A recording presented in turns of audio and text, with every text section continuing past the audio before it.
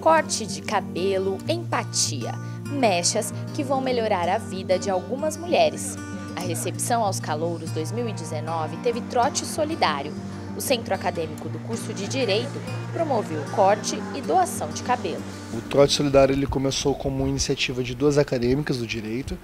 Começou, se não me engano, em 2016 e ele virou um costume do CAGEF, né, que é o nosso Centro Acadêmico do Direito, de realizar todo ano durante a recepção dos calouros.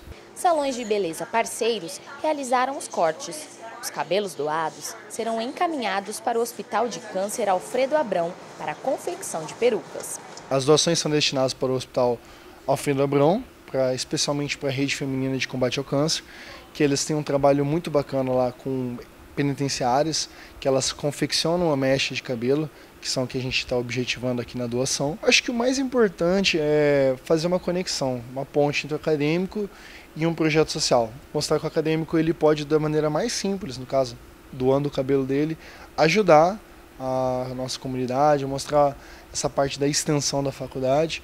E é importante também dar uma desmistificada no que é um trote. Né? Que o trote tem uma coisa que acaba sendo às vezes agressiva, acaba sendo muito estereotipada, mostrar que ele pode ser algo diferente. A ação envolveu calouros e veteranos que aproveitaram para mudar o visual e ajudar quem precisa. É uma maneira diferente da gente é, ingressar na universidade, tanto os calouros como a gente que é veterano, é, e de alguma forma já retribuir também, é, como a gente está numa universidade pública, é uma forma de retribuir também um, essa coisa social, né?